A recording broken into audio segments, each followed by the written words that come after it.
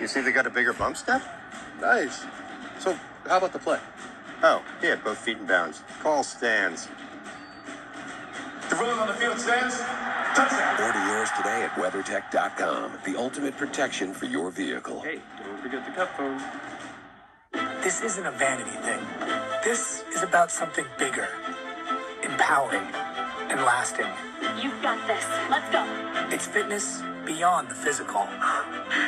It's you building a stronger you. Today's challenge, three toppings for just 10 bucks. Mine has ham, pineapple, and bacon. You just took me on a trip. Am I a pineapple person now? I'm a pineapple person now. Create yours only at Pizza Hut.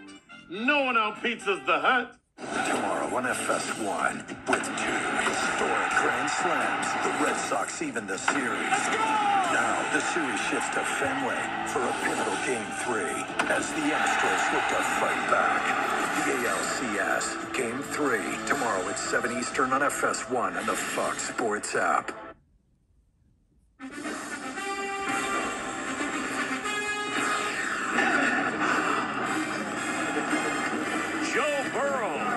Upstart Cincinnati Bengals up against the Lions, who are still in search of their first win of the season.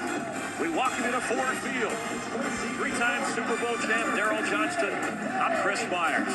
While both teams coming off heartbreaking losses on game-ending field goals, see how they respond. For the Bengals, who think they're new and improved, this may be another test. How did they do last week against the Packers? Well, I like the fact that head coach Zac Taylor would not allow people to call that a measuring stick game. He knows how good his team is. They have another opportunity to show the NFL how good they are today. They're ready to do that against these Lions. Quickly. Don't let them be in this game at the end. Both of those, both of these teams know what can happen at the end of a football game. We saw a lot of emotion pouring out of that Lions sideline after their defeat, searching for that first win. So where do they turn or who do they turn to to try and get it? Yeah, I wish I had some good news for Lions fans. Listen, I'm not a fan of big cliches either, but that's really where this team is right now.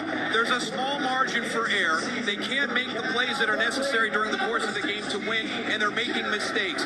Let's go back to that Baltimore game, 1917 on that career record long field goal by Justin Tucker. Zero turnovers in that game. If they can do that today, they've got a shot.